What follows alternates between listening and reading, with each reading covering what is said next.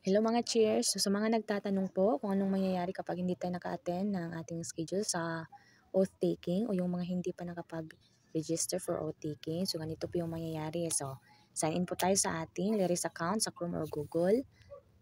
Google. So check din natin yung ating transaction yung nung nakapag-register tayo sa oath taking. Kung nakikita nyo dyan sa baba, yung status natin mga cheers, pending pa yan.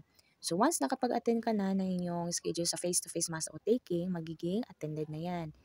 The next, ating homepage, um, tap natin pababa, and then select transaction tayo.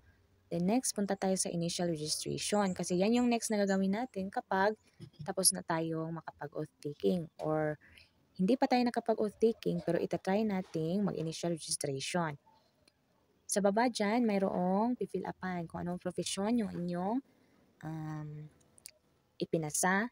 Then next, yung ating application number. So, lagay nyo dyan.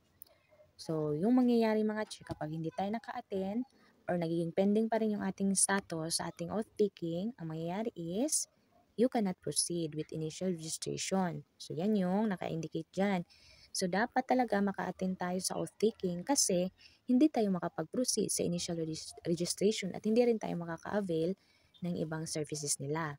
So, ganun lang mga cheers. So, dapat mag-attend po tayo or kapag hindi tayo naka-attend, mag-email or sumulat po tayo sa ating kinauukulan sa PRC kung ano ba yung reason natin, valid ba siya or hindi. So, nasa kanila na yon kung i-approve nila inyong apila kung bakit hindi kayo naka-attend ng oath taking. So, may mga ano naman po, um, remedy kapag hindi po talaga kayo naka-attend kasi may kanya-kanya naman po tayong reason.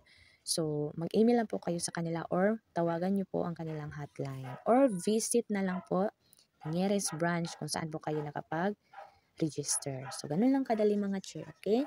Hindi pala siya madali. So, dapat talaga maka-attend para madali.